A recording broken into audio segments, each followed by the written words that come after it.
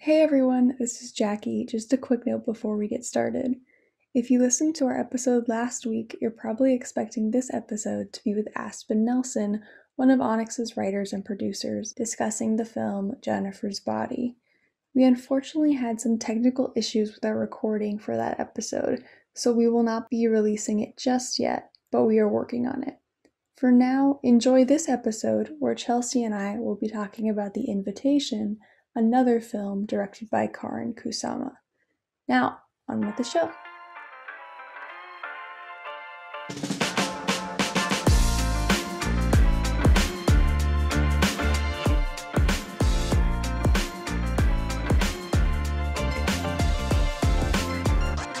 Hello and welcome to another episode of Film Spill, a movie night podcast. I'm Jackie. And I'm Chelsea. And Film Spill, if you don't already know, is a podcast that we do every week. It comes out every Thursday, and we talk about a movie by a female filmmaker every week. We discuss women in entertainment in general, and we also play slumber party type games because we want it to feel like a movie night, you know, that you'd have with your friends. Today we'll be talking about Karyn Kusama's thriller, The Invitation from 2015. But first, it's time to look into celebrity couples compatibility. Yeah. So, we thought it might be fun to find some relatively new celebrity couples, you know, people who got together this year, and kind of see, based on their zodiac signs, how we think they might be as a couple, whether it's a good match or not. So we'll kind of give our take and then we'll put it into their both their signs into a uh, compatibility calculator. So this is astrology daily in case any of you want to play along at home. Okay. Oh, I like this. All right. Do you want to go with the first one that you picked out? Sure, yeah. So our first couple is J-Lo and Ben Affleck. And they are actually both Leos, interestingly enough, which makes a lot of sense. I, mean, I don't know a lot about astrology, but you know, these are two lions of the industry, so it makes sense. And they actually used to be together back in the early 2000s, and they even got engaged. And then recently, after um, J Lo split from A Rod, Ben Affleck was seen visiting her at her house in April of this year. And later it was confirmed that Ben and J Lo are back together. Which is crazy to me because she got back with him quick. I don't think she was fully divorced from A Rod. She was like, you know what? I'm not even gonna wait. Let me just get back with Ben. I'm already used to him. Let me just go back to my old fling. But believe it or not, A Rod is also a Leo. So oh, maybe wow. she's into Leos. There's a type there. A yeah. Type. Okay. Are Leo and Leo compatible? Leo and Leo zodiac compatibility is either brilliant or a disaster. So that makes sense because she's divorced now. I think she's gotten divorced like three times already at least twice. It was her and Mark Marc Anthony and her and A Rod. And then I think her and Ben Affleck were just engaged. And they okay. called it off like right before the wedding, basically. Oh wow. It says I mean, hey. I know, right? I mean, hey. An instant attraction is likely as each recognizes so much of themselves in the other. It's like looking into a mirror, something Leos always enjoy. This can be one of the most playful combinations in the zodiac. Oh, Leo and Leo ideal date. This is interesting. When two Leos want to be the hmm. center of attention, the only solution is a place where they can take turns doing so. A karaoke bar is a great option. And that makes sense because they're both performers. They're both always center stage. So maybe they can mm. relate to each other in that yeah. way. Yeah. Yeah, I heard that Leo's like the attention. They like to be the center of attention.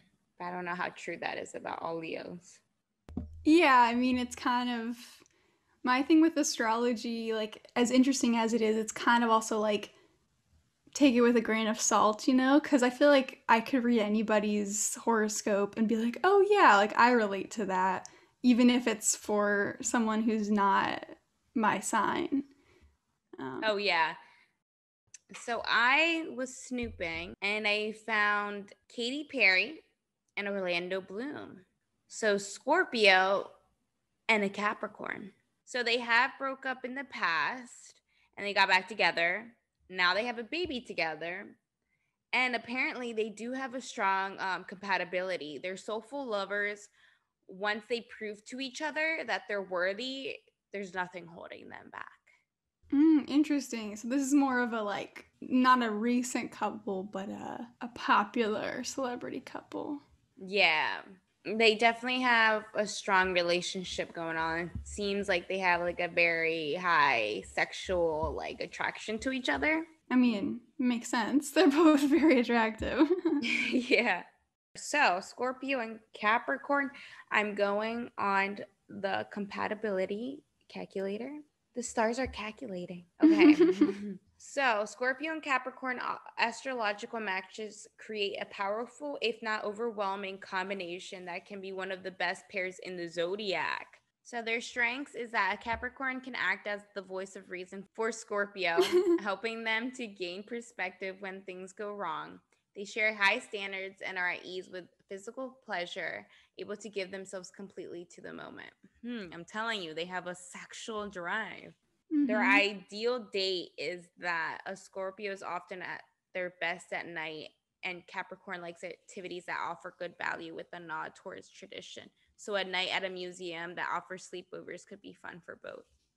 Why would a night at a museum offer a sleepover? Please tell me that sounds like something you do with like a little kid, which maybe is fitting because they do have a kid together now.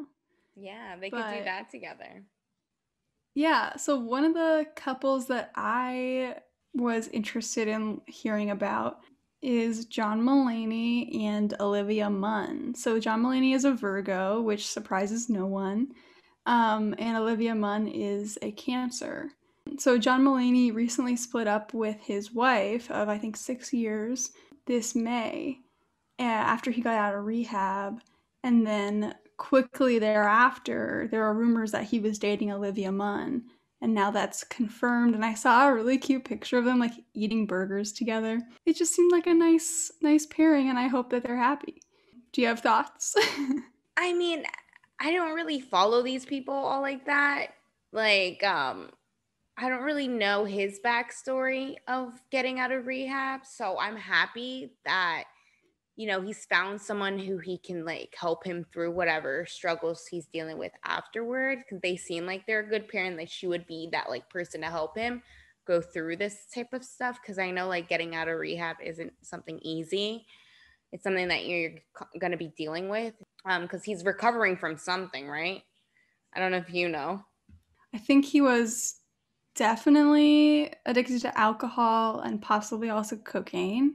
Mm. Um, so like that's some real shit. But yeah, I you know I really love John Mulaney, so I hope you know want the best for him. Aww. Well, yeah, I mean, I wish the best for anyone who's, you know, struggling with addiction. That's something that's not easy to go through. And it's something that you need a strong support system to help you through. So, what the Astrology Daily calculator says it says are Virgo and Cancer compatible? Although there are possibilities, at first meeting, Cancer and Virgo could simply get on each other's nerves. Both are sensitive and natural warriors, so they might act aloof. Each might think that the other isn't really interested in a relationship. It takes time for them to get to know each other and trust each other. But yes, yeah, if they make the effort, Cancer and Virgo can make a good team. Hopefully, um, they're putting in the effort. Exactly. And then the ideal date would be one where they're both pampered. A high end spa would be ideal. Mm. That's ideal for me. couples massage. Oh, I would love another couples massage. The next couple that I chose is Mila Kunis and Ashton Kutcher, a Leo and Aquarius. I know that for a fact because I'm an Aquarius that Leos and Aquariuses are supposed to be very compatible and be really good friends and just get along really well. So that makes sense that they were friends for so long before they got together and they worked on that 70s show together, Now they have two kids. It's like match made in heaven. Yeah, they've been together for quite some time and they have quite the history. So I'm interested to know. It seems on the surface, you know, like things are good, but who knows? Let me go to the compatibility calculator. Okay. All right, so let's see. Um, a Leo, a lion, and an Aquarius. Okay. This says, Are Leo and Aquarius compatible? Oh, I already kind of answered that, but despite how it might appear on the surface, this attraction of opposites can result in a magnetic combination. It's likely to begin with the simple flirtation. Leo's warmth combination with Aquarius optimism makes them an extremely attractive couple. Both like to look good and are ahead of trends. However, Leo is focused on the self while Aquarius is more concerned with humanity as a whole. Freedom, love, and Aquarius can make devoted Leo feel insecure. Oh. The best date for Leo and Aquarius is one where they can both express their playfulness. A game of miniature golf is a great option. I love mini golf. That's fun. Another couple that I actually just learned about, I had no idea they were together, is Olivia Wilde and Harry Styles, which I never would have guessed but apparently they have been together since at least January of this year. Um, and recently they went on a romantic Italian getaway together, which sign me up. Yes, please. Harry Styles is an Aquarius. Oh, wow. He's an Aquarius? Yeah, Harry Styles is an Aquarius and Olivia Wilde is a Pisces. So this says when an Aquarius and Pisces astrological match gets together, friendship is easily established, but for anything more to develop, they will have to make compromises. However, if they make the right compromises, they will find they have a friend and lover rolled into one. Well, that's interesting. So, I mean, they could clash, but they could also get along. Yeah, it sounds like they are definitely going to be friends, but like it might take a lot for them to be in a committed relationship together. That's probably why it took them so long to come out with it because it just came out that they were together and they've been apparently together since January. Yeah, but the ideal date for them, it says Aquarius likes the unexpected while Pisces wants to feed their imagination. So a poetry reading could make the ideal date. Never thought about that. Yeah. Going on a poetry date. Yeah, I was like, is it like slam poetry? Like they're going to like watch a performance, or is it like they're gonna read poetry to each other? Because I feel like that'd be super awkward. I could not do that. Let's just read our poetry together. I can't even write poetry. I can barely write a haiku. But let's get started on talking about the invitation by Karyn Kusama. Yes, I like the little Karin. I think it's just Karin.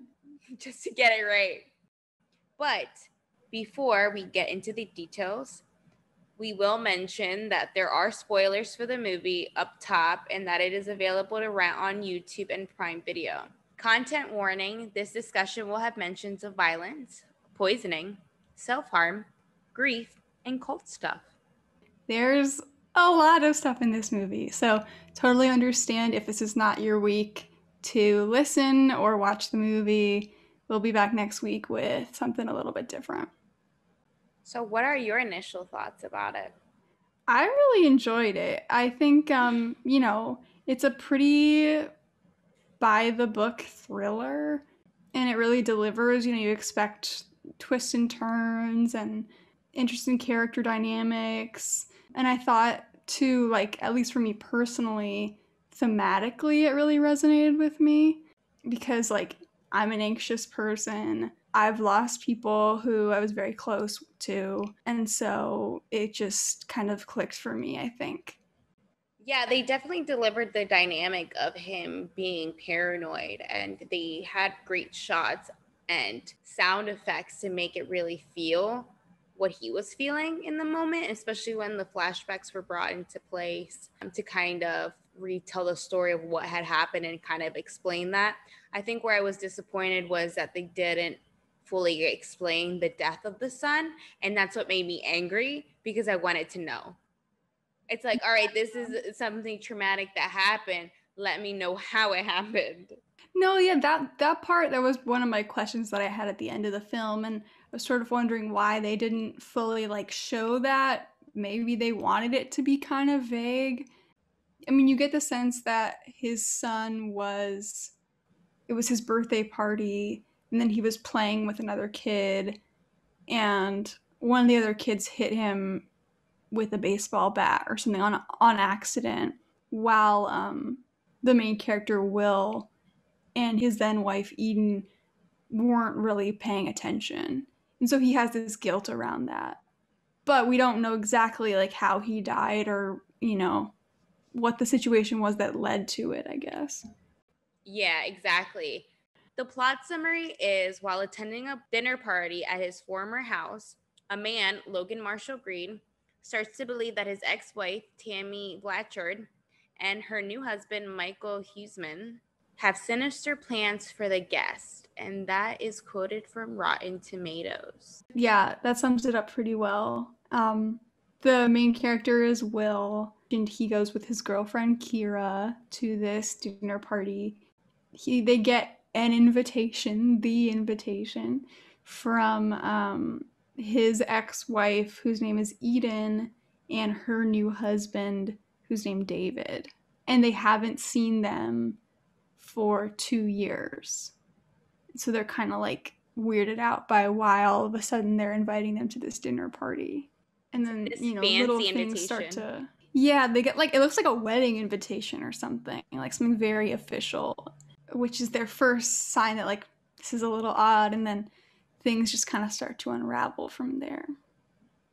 I think the beginning was unnecessary. And I don't know if it's like, again, to explain the protagonist's mental health. But the fact that they run into a coyote, he kills the mm-hmm. coyote, mm-hmm. and then they go along to the party. Like they bring it up in the conversation, yeah, but it still doesn't play a role or a part in the movie whatsoever. So I don't know if that was just for like a jump, just to like add something in there. I don't know what it was, but I just didn't feel like I personally just didn't feel like that portion of that movie was necessary. I think that using that time for something else in the movie mm. because the beginning was really slow. Like it took them time to even have dinner. Like I felt like I was at that party for a hot minute and then they finally got to dinner. like I'm then, hungry. yeah, and the dinner scene was pretty like well was really well shot. I really liked it because it's going back to his mental like state they're chowing you hear the chowing and doing close-ups of it so you really feel the intensity of it.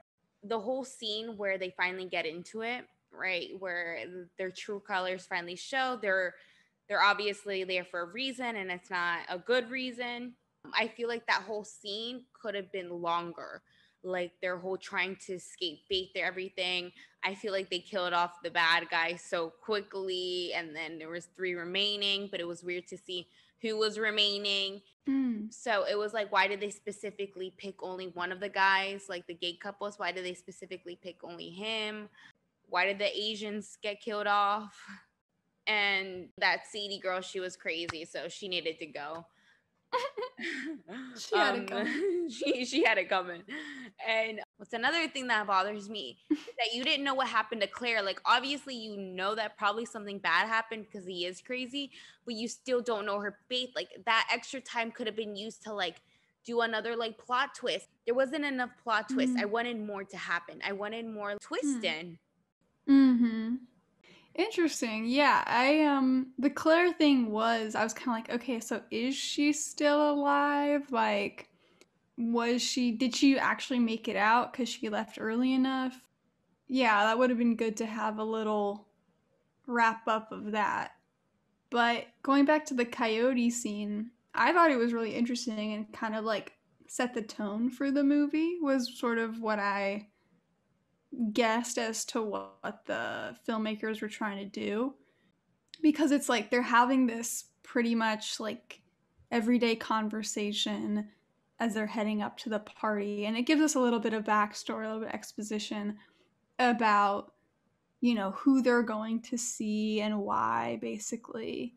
And then um all of a sudden we get this crash with the coyote, which I always hate to see an animal get killed in a film, but I think it does show like kind of how an everyday situation can turn into a very violent one um, very quickly, very unexpectedly. And then the fact that Will actually gets out and like kind of mercy kills the coyote is interesting because it also shows he has this capacity for violence and for killing if he needs to, which we end up seeing at the end of the film. So I don't know. I thought it. I thought it was an interesting choice. I don't know if I would have written it in, but I understood why they did it. I think. Yeah, I think you gave good reasoning as to why they did it. But maybe it did drag on too long, or that that can be a criticism for sure. Because it is like an hour and forty minutes, and I don't necessarily know if it had to be quite that long. Well, I thought that there was something more that was gonna happen because of all these clues. I thought that they were gonna turn out to be even crazier. The craziest thing that they did was pull out a gun and start shooting. You know, I thought it was gonna be some like evil stuff, and the whole cult stuff didn't make sense to me either. Because at the end, we see that all the, there's multiple lights lit up. That they're in a neighborhood where other people are practicing this at the same day as well right? Mm-hmm. So did all of these people go to Mexico at the same time and get this magical hearing from this guy? Like we just know that they met this guy in Mexico who's been preaching that if you're if you kill yourself, you're gonna be released from all of this sadness that you had from the um, your loved ones who's passed away. But isn't that just suicide? Like it didn't.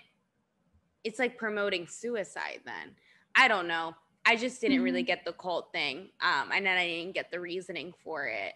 Uh, I think it could have been done differently.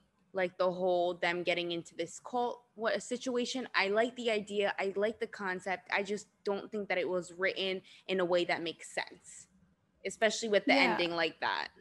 Yeah, I think we're supposed to get the impression that like this is a kind of a new agey thing that a lot of people ha- are somehow like have found like yes there's like this place in mexico where you can go but you know lots of people have sort of bought into the invitation i guess but um i do think it could have been like the reason why they had to kill everyone else at the dinner party could have been better explained. Like i wouldn't have wanted it to be just like stated out in the open but i wanted a little bit more information as to like their motive behind it because I like this idea that there's this cult that you're trying to basically deny the fact that you have any negative emotions at all, especially connected to like having lost someone you love, um, which is super unhealthy and I think is like reflective of this sort of cultural idea that sometimes people have, especially like in the US, that you can just oh just move on you know you'll be fine you'll get over it and it's like but you actually never get over losing someone who you really loved like that's always going to be sort of a gap there you know in your life and you just kind of have to figure out how to deal with that versus like denying that it's even there yeah and i think and that point came into conclusion when you see Eden lying there. She wants to get taken outside where her son died. And she's lying there dying. And she tells Will, I still miss him. So, just to go on what mm-hmm. you were mm-hmm. saying, that grief is always going to be there no matter what you do. It's not something that mm-hmm. goes away, it's something that you have to deal with. So, emotions just can't be turned off like that unless you're a vampire from Vampire Diaries that you can turn off your emotions. I don't think that's possible. Like we're we're human beings. So mm-hmm. So Karyn Kusama, she's a film and TV director. She has been recognized at Cannes and Sundance. In addition to Jennifer's Body and The Invitation, she is well known for her debut feature Girl Fight 2000, which is actually one of my favorite films. and I do want to end up watching that soon, but Oh. we'll we'll get into that. Yeah, it's really good. And Destroyer 2018, starring Nicole Kidman. Ooh. So, a little bit of background on the film. Initially, it was announced that Luke Wilson, Zachary Quinto, Topher Grace, and John Galecki would star in the film. But obviously, that didn't happen, and we got our cast, which I think they did a really nice job. I don't even know who these actors, Luke Wilson and all of them, would have played in the in the film. I assume Luke Wilson would have been Will, but everybody else, I don't really know who they would have been. And then Karyn Kusama says that the film is a metaphor for what the nightmare of anxiety really is, which is the irrational sense that people are trying to hurt you somehow. But in this film, it's actually rational because they are trying to kill all of them. But I really saw the movie before reading about it as like a metaphor for grief and like not denying your true feelings around that. Um, but obviously there is a lot of anxiety in the film, a lot of paranoia, but it turns out that it's justified. And then this film uh, premiered at South by Southwest in 2015 and had a limited theatrical release um, and was also released through video on demand in April 2016. I like how she said it was a metaphor for the nightmare of anxiety, what anxiety is, because that's cool. That's a cool concept to make, try to make a film out of. That constant, like, um, I mean, he kind of was going through like these these memories, and I don't know what you would consider that. He was Mhm. going through these flashbacks that were triggering things. He was looking at certain um, parts of the house and just having memories. Like, for instance, the living room. He saw his kid playing, or when he went to the kid's room, he was laying in bed with him, quote unquote, like laying in bed. Mm-hmm. or when he was in the kitchen he had that flashback of like eden trying to like cut herself. I like those flashbacks that were included because it got to bring out more of what he was going through. I think it was needed to create more of a dynamic in the film. I feel like i wish there was more Mm. Yeah, I think it was a very like minimal use of flashbacks because we were just we were in, we were out. Like we only saw the little snippets that we needed to see to kind of get an understanding of how he was feeling, which is something that like in like screenwriting classes I've heard people give the note that like oh this flashback can be much shorter. You know, like it can just be one shot of something. And that kind of is what it's like when you are remembering something or when you're having sort of like a when you're when you're triggered by something, when a memory is triggered by something, which I think comes up too a lot if you are struggling with grief and you lost someone in a traumatic way like he did. Like I don't know if he has PTSD, but certainly he's having these memories come back to him and he can't really control them and they're overwhelming him. yeah like he thinks he's okay he thinks he can handle it in the beginning of the film but you can already tell that there's some tension there that he knows is going to bring up memories so i don't know if you caught on to this statement but he in the very beginning she says oh are you okay to go back to your old house and he says it was never my house that eden came from fa- from money that her family had Mhm. money and the first thing that is said when they finally get to the house or i don't know when exactly but there's some point in the film where the guy what's the guy's name that eden's with now Oh, David. oh yeah david's like oh it's my house like he claims already that Mhm. it's his house and Mhm. the, there could have been more emotion behind it but i feel like there wasn't enough Mm. you're like ooh ouch kind of like why why do mhm. you think it's your house when i didn't even think it's my house like it's not your house Yeah, I think there is this tension between Will and David throughout, and it kind of builds, but maybe it doesn't get to where you'd want it to go or something. But yeah, I think it's interesting because obviously he doesn't want to be with Eden anymore, but there is some like lingering kind of sexual tension between him and Eden. And then there's also this sort of indication that like David has taken his place and like is doing a better job than he did, I think. And so there's like a, a lot of like discomfort there. Oh yeah, but he knows it's like fake though. He knows that mm-hmm. she can't just be happy. Right. Like how are you this happy after our son passed away or whatever?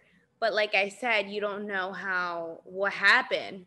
You know he passes away, but you don't know from what what was so traumatic.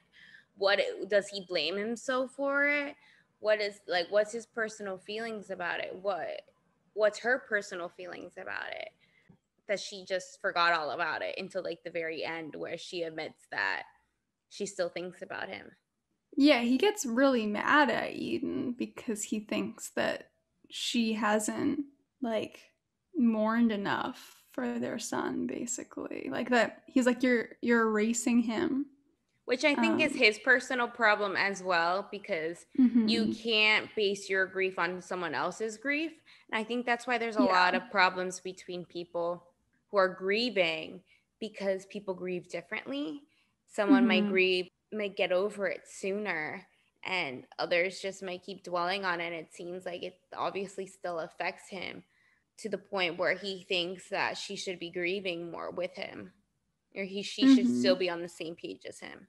Right. Yeah, and like I guess she moved on in kind of an unhealthy way that like led her to this cult, but it is true that like people have their different ways that they process things and at one point she's like you can't judge us for you know figuring out a way to deal with what we what we went through and he agrees you know but then it ends up in this mass killing so it's like clearly that's not a healthy way to uh go about it just pushing things down and acting like they don't exist, you know?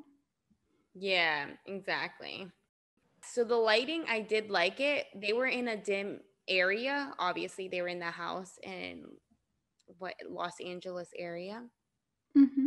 Which also did it make sense that they didn't have service. They're in LA and don't have cell service. Okay. Maybe that's true. I mean, I have been in a par- part of LA that doesn't have as much cell service, like when you're higher up in the mountains.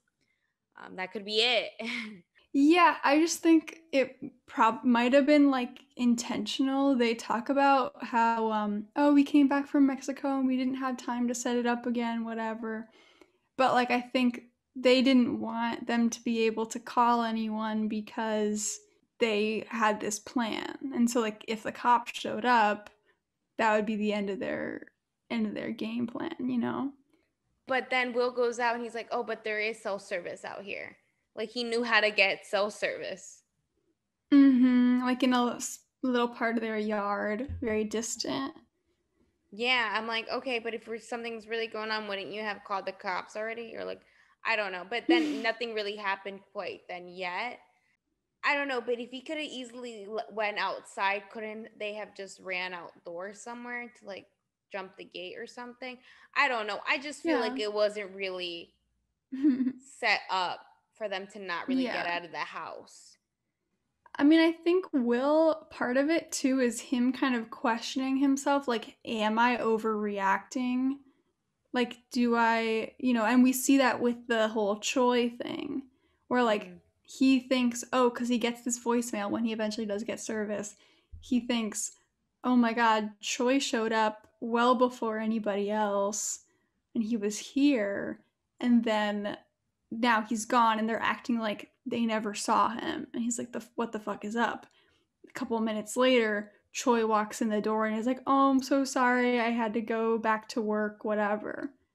And like, I totally understand this as somebody who struggles with anxiety, like sometimes you don't know if your feelings are like whether they match the situation or not. Right? Like, am I overreacting? Am I too worried and too hyper focused on this? Or should I actually be worried about this and, and letting other people know? Mm-hmm. Well, yeah, because he thought that he was going to prove something, but he didn't bluntly just out say it um, right away. He really kept just going with, no, this is, you know, there's something wrong here. He didn't even bring up the Choi thing right as soon as he knew. He like kept it to mm-hmm. himself. So that was like written in, I guess, purposely. They did things differently. Like some things that I expected to happen didn't, which was something that I liked as well. Like, you know, it caught me by surprise. So something at least caught me by surprise.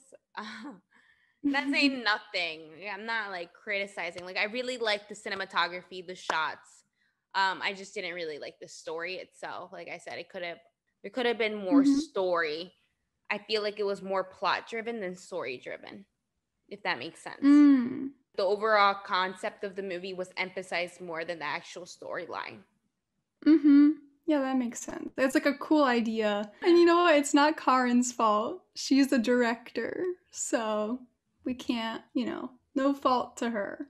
Yeah, exactly. And I really liked how she directed it. Like I do like the shots in this film. Um, it's really cool. I really like the lighting. Mm-hmm. Like I said before, what they were working with, they had some really great shots, especially the dark, like um, the shot by the pool when it was getting darker, just like scenes that you couldn't mm-hmm. really tell what was going on, but you could. Um, like it was certain things were done on purpose, and I like when that was done or like to like create more dynamic to the story to create more um, intensity suspension thrill. Because mm-hmm. you know that's what it was. Yeah a thriller as they thriller. say i saw it labeled some places as horror and some places as thriller but i say it's a thriller i think. It's definitely a thriller. It's not too gory to be a horror. Mm-hmm. Like i'm telling you they just get shot and then what david gets like a knife in him and then he dies right away. Usually they like don't die right away. Like you know that the evil person keeps on like mm-hmm. kicking and fighting back. Like i feel like it just yeah, happened too soon. trope. yeah it all goes crazy at the very end. Like it's just people are dropping left and right. I saw um somebody when uh, i was reading about this film call it a dinner party from hell. And like that's like apparently a um sort of a genre like a subgenre. But yeah so it's all contained in this one house which helps it feel realistic and kind of like you think oh like this is a crazy sort of exceptional thing that's happening. But then at the end when we see all the lanterns and everybody else's yards it's like oh shit it's much bigger than we ever even anticipated and we and we got that reaction from will and kira. Yeah definitely like a good plot twist perfect thriller ending but... and the coyotes howl at the end too which is kind of tying it all yeah together. tying it all together with like the coyote that he ran over but i don't know like i said i wanted a little bit more meat. It, it was good though. It was it wasn't like oh my god i was bored throughout like i kept watching it. If i was bored I wouldn't have kept watching it. I would I wouldn't have watched it a second time. I needed to watch it a second time to really understand it um, and get more things mm-hmm. that I mm-hmm. didn't get the first time watching them, like the film. So, what did you think about the editing? Similar to Jennifer's body, I noticed quite a bit of slow mo that kind of emphasized like important moments or built tension. And it also helped us to feel like we were in Will's shoes. And I think the pacing was really interesting. Like you talked about it being too slow, um, which could definitely be argued. But I think the way that this film can speed up and then slow right back down is honestly very impressive. Yeah, and then we talked about the flashbacks already, but um, I think they were well done. It wasn't too much. You know, it didn't feel like we were living in the flashbacks. We just saw enough to uh, get a sense for what his life used to be like. And um, they had a really distinct color palette separate from the dinner party. So we were always like clear on, okay, this happened in the past. Because the dinner party you know it's warm tones and it's it's dark and shadows it's nighttime and the memories were more cool and they kind of remind me of morning Yeah, they was... had like uh some of them had like a blue tint to it, like very um it was like edited in a certain way where um it lagged. It was like slow pace too. Like those like mm-hmm. usual mm-hmm. flashback scenes where it's like slow, kind of like laggy, like a cool tone to it. Mm-hmm. And it was kind of fuzzy too, like the camera was not as focused. Yeah, um, exactly. Only certain parts. There was other scenes that were more focused, like the shower scene where they're getting I mean, not the shower scene, they're when they're bathing together, that was more clear. True, yeah. I didn't think about that. Um that scene. Yeah, it wasn't the usual flashback that he was getting. So maybe it was like yeah. a different dynamic. It wasn't so it was a lighter scene, so it wasn't so fuzzy. But the more traumatic mm-hmm. scenes were more fuzzier because it was like it happened so quickly. So maybe it mm-hmm. is like a mm-hmm. blur. That's why they did it purposely like that. More symbolic. Yeah, yeah, yeah. Like he's kind of almost like had to put this coding over these memories because they're painful. Mm-hmm. Um, potentially. Although it's the scene where he's in his son's room and he lays down, which is such a sweet scene, and I almost cried. That scene is also in that kind of fuzzy blue filter. Mm-hmm. Which maybe it's just hard for him to like think about a very like tender moment between him and his son because it's painful for him to even remember that he had that relationship because it just you know brings up those feelings of that's gone now yeah and there was a lot of attention to detail put into the actual room itself it looked like he never left so the bed, mm-hmm. even if you look at the pillow, it looked like someone slept on it. The bed wasn't fixed. There were still toys on the ground, exactly like he would have left it if he was just there, you know?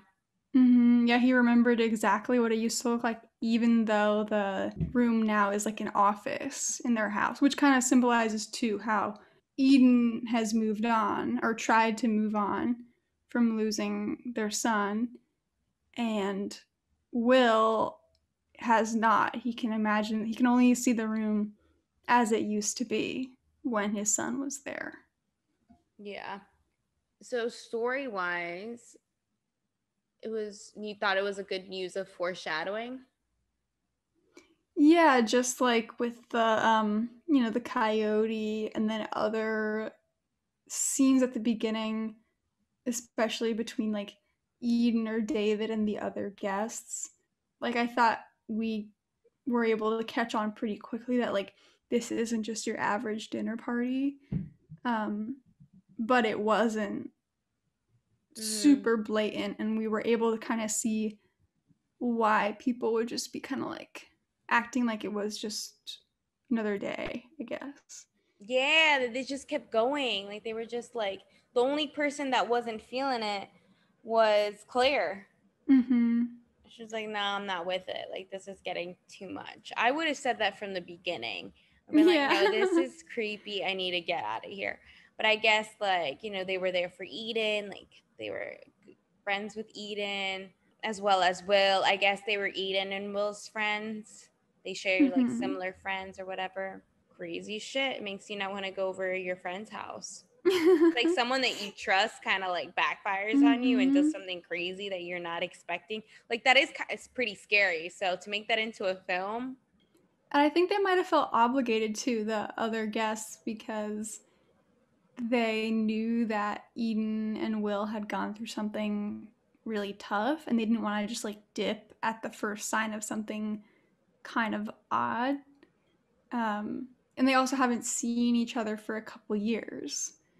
Mm. So, you know, there is some motive for them to stay, but I might have been leaving with Claire, you know. I know. like, I'm out. I would have went to go check up on Claire. Would have went outside. That's why I, I wanted to know about Claire, and we didn't get to know. I guess I'll never know yeah. unless I ask Karyn like what happened to Claire. True. True. Mm. She'd be like, whatever you want to happen to Claire. Yeah, that would be the answer, which is always so frustrating. I know. Whatever you think. Mm. Like, no, I can't. That that's what I don't want to do as a filmmaker either. Like, I get it. You want your people to tell their own story, to have their own conclusion to it. That's the whole purpose to create this mystery around the story. But just give me a fucking answer. That's all I want. I don't Yeah, want you could say- mystery. You could say this is what I think. Yeah. You know. But you if you think something else, that's valid too, maybe. Yeah. Exactly. Your opinion is always valid. so I was impressed by um, how well like we sort of get to know all the different characters because there's a shit ton of characters in this movie, but they all have unique like voices, and even some of them, like Claire, who leaves pretty quickly, we already feel like we have a sense of who she is and kind of what role she plays in the friend group.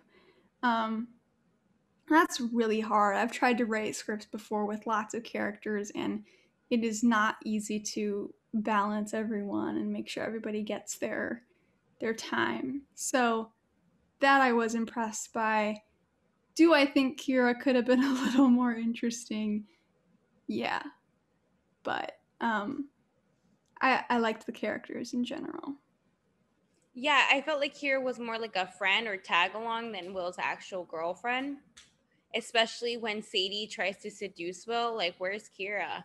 I would have liked some girl on girl action where she's like beating her up or like back off my Oh. man. And then that's when the craziness starts. You know, I feel like a lot of those moments could have been where the craziness starts happening.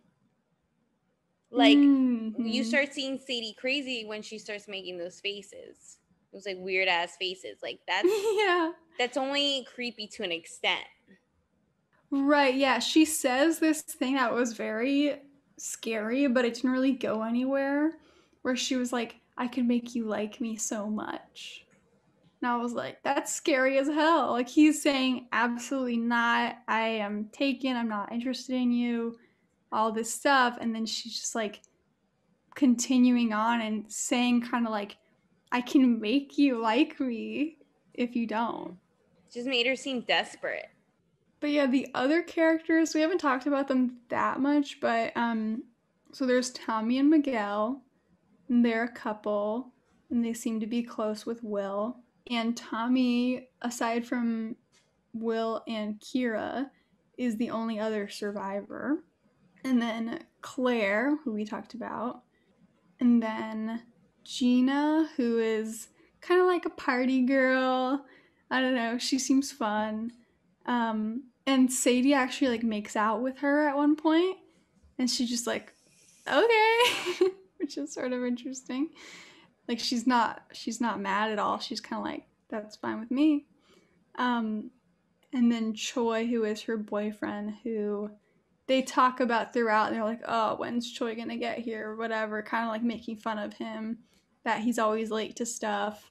Will gets the voicemail and um, thinks that Choi has been killed, but then he shows up at the very end, only to then get killed in like the next, you know, 10 15 minutes. Gets killed right away. I was kind of surprised that Gina was the first one to go.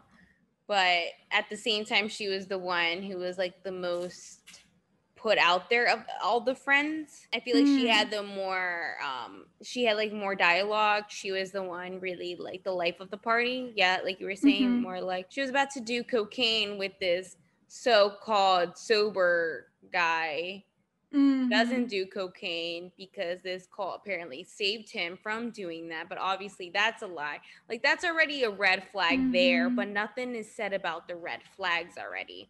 You know, Will is the Mhm. only one catching on, but nothing is. I guess you, you, it's it's the job. It's like the audience's job to really pay attention to the to the dialogue. Yeah, yeah, because he's starting to put the piece together, and then eventually he confronts them about it, but it takes a while. So yeah, it's kind of up to you to see what he sees, I guess. Um, I forgot to mention Ben as well. Ben is also there. He's one of their good friends. He's kind of like a class clown type guy, but we don't really know too much else about him. And isn't then um isn't he the one that Eden slaps? Yes, yeah, he's kind of joking around about something about oh, she's saying like you don't have to be weighed down by all these negative emotions. Like you can just move on from them and um rid yourself of them. And then Ben makes some kind of joke about that like he doesn't believe it and she slaps him, which is another like foreshadowing that we kind of get that says like this is not normal. Like there's potential for something really fucked up to happen. Yeah, exactly. But nothing said. I mean, um, things are starting, like I said, things are starting to add up. But Sadie's crazy. She met Eden and David in Mexico. She's also part of the invitation. She's weird. She comes out of nowhere. She's first seen when Will looks over to the side and she's like undressed, half like undressed. Then she comes out and gets introduced. Pruitt is some other random weirdo who shows up there.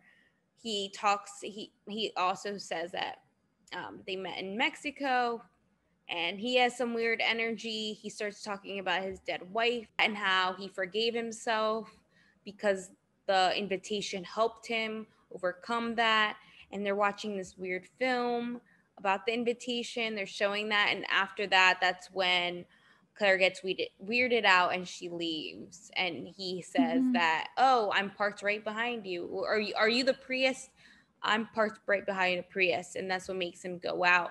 But you already know that he's sketchy from the beginning. Both of them are really mm-hmm. sketchy from the beginning. Yeah, it's like who the fuck are these people? Like cuz you kind of get the sense we have this core friend group. They've known each other for years. They have a lot of history. And then all of a sudden there's these two randos who already have weird energy coming in and it's just it's strange and then um pruitt in his little like speech about his wife he talks about how much he loved her but then he also says that they got into an argument one night and he hit her and she died. And it's just like whoa. Again the like quick um escalation like going from a very very chill sort of thing sweet moment he's talking about how much he loved his wife then and yeah by the way i killed her um but like he no longer lives with that the guilt of that which is like it feels iffy because it's like well like you did kill someone. I you know like either you should you hope that someone would have some kind of remorse. Yeah it like someone close to you.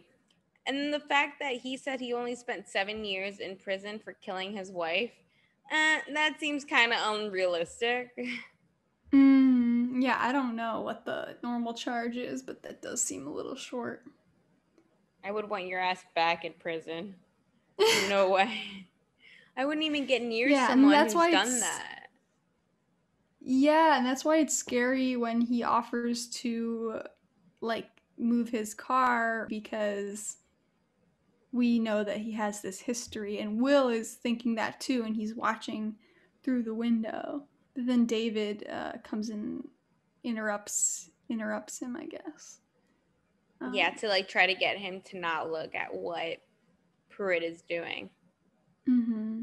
but you don't know because he does come back so who knows if he already had the gun in his pocket he could have shot her i don't know mm-hmm could have done something with the car.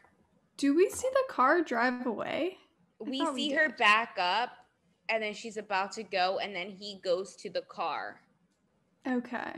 He so said, she hasn't left yet. No. So like he goes to the car, right? And then that's it. Then he then um Will gets distracted by David.